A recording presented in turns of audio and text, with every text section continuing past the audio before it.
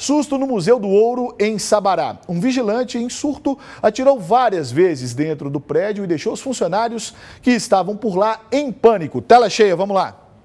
Era fim da manhã quando a polícia militar foi chamada para atender a ocorrência dentro do museu, onde vários tiros tinham sido disparados pelo vigilante do local. Por volta de meio-dia, né, é que aconteceu o evento.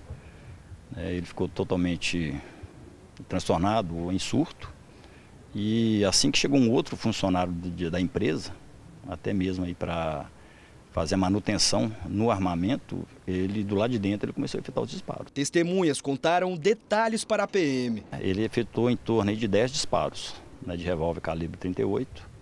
É, alguns foi para o alto, alguns pegaram na parede, outros pegaram no piso, no chão, né, mas é, não teve vítima. O Museu do Ouro funciona neste prédio histórico no centro de Sabará, cidade que fica na região metropolitana de Belo Horizonte. E a situação por aqui só não foi pior porque, no momento, o local não estava aberto para visitação.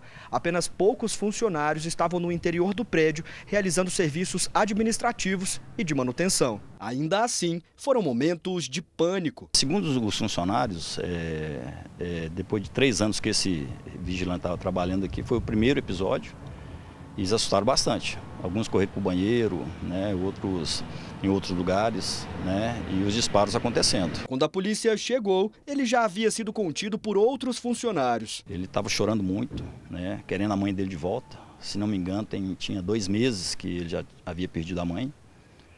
Né, e segundo ele, tinha algumas imagens sombrias dentro do museu, ele estava enxergando isso é o que motivou ele efetuar esses disparos para o alto. Com a chegada da polícia, o vigilante de 34 anos em surto foi encaminhado para atendimento médico. Ele foi controlado, né?